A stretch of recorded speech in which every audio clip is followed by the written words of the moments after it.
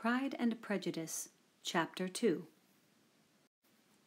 Mr. Bennet was among the earliest of those who waited on Mr. Bingley. He had always intended to visit him, though to the last always assuring his wife that he should not go, and till the evening after the visit was paid she had no knowledge of it. It was then disclosed in the following manner. Observing his second daughter employed in trimming a hat, he suddenly addressed her with, I hope Mr. Bingley will like it, Lizzie. We are not in a way to know what Mr. Bingley likes, said her mother resentfully, since we are not to visit. But you forget, mamma, said Elizabeth, that we shall meet him at the assemblies, and that Mrs. Long promised to introduce him. I do not believe Mrs. Long will do any such thing.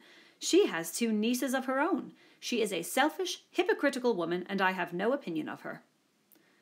No more have I, said Mr. Bennet, and I am glad to find that you do not depend on her serving you. Mrs. Bennet deigned not to make any reply, but, unable to contain herself, began scolding one of her daughters. Don't keep coughing so, Kitty, for heaven's sake. Have a little compassion on my nerves. You tear them to pieces.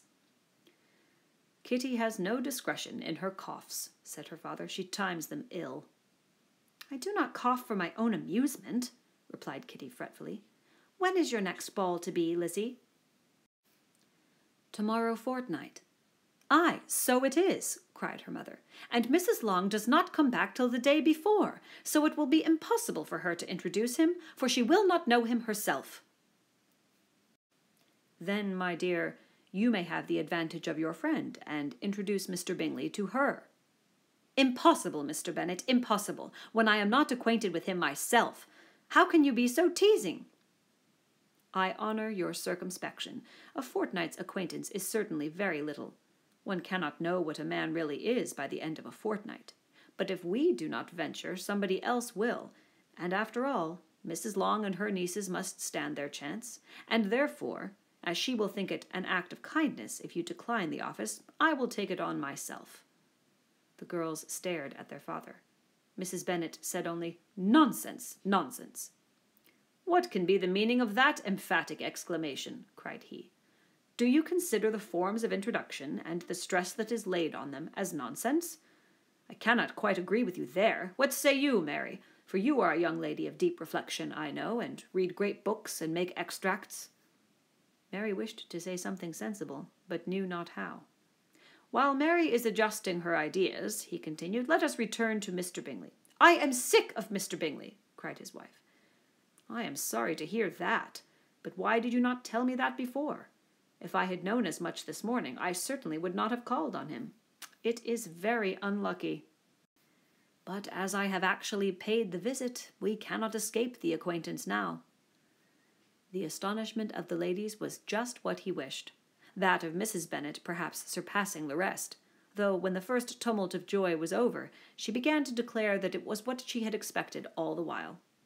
How good it was in you, my dear Mr. Bennet!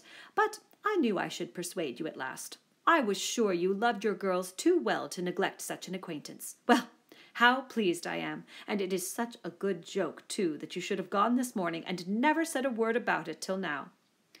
Now, Kitty, you may cough as much as you choose, said Mr. Bennet, and as he spoke he left the room, fatigued with the raptures of his wife.